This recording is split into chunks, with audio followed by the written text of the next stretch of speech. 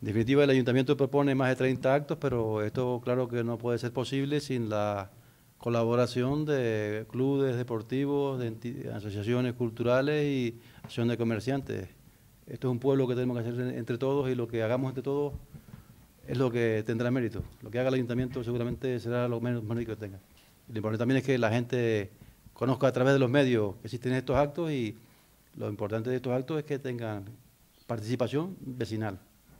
Este año hemos pretendido hacer una campaña diferente, con la introducción de, nuevos instrumentos y nuevos mecanismos que, potencien la marca de San Miguel de Abona como, una zona comercial eh, genérica, eh, que abarque a todo el municipio.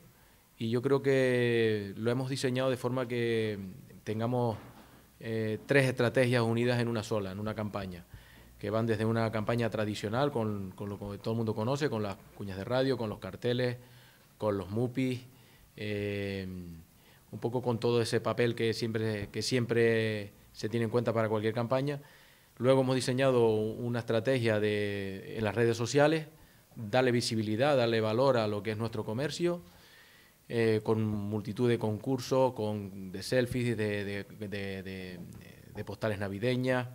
eh, de escaparates, etcétera, un poco siempre relacionado con las redes sociales y por último pues lo que se llama un street marketing, que es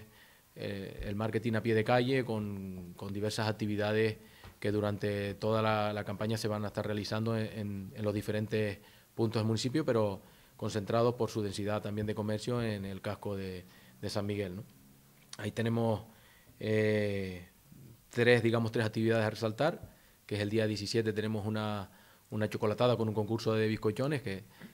siempre que se habla de comida parece que, atrae a mucha más gente. Eh, luego tenemos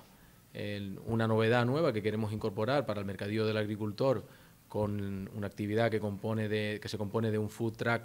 con una segunda edición del, del, Chef Junior Club que tanto éxito tuvo en el Saborea San Miguel de Abona. Y por último, el día 30 queremos hacer otra actividad, en este caso lo, queremos, lo hemos denominado Pringo y Vino, y un poco resaltar también nuestras tradiciones con, con, y nuestras nuestra, nuestra gastronomía ¿no? en, esta campaña de Navidad. Y luego, pues durante todo, todo, prácticamente a diario, pues tendremos actividades infantiles, actividades en la calle, talleres de empaquetado de regalos, etcétera, que en conjunto lo que intentamos en definitiva es atraer al mayor número de clientes posible y que estén cómodos en, en, San Miguel, que estén cómodos comprando y que San Miguel se convierta en, tu mejor regalo, ¿no? que es el eslogan que también hemos decidido eh, para, esta campaña. Es decir, que este año, pues, como no puede ser de otra manera también, se ha colaborado con, la, con, con, las, con, diferentes concejalías, tanto de deporte como de cultura, para un poco hacer un programa eh, variado, eh, que haya prácticamente ocupe todo el mes y, inicios del mes de enero. Y yo creo que, hemos acertado y desde aquí invitar a todas esas personas, tanto del municipio como de fuera, que se acerquen a San Miguel, porque eh, este año yo creo que que no se van a arrepentir y que, y que van a encontrar aquí lo que posiblemente no vayan a encontrar.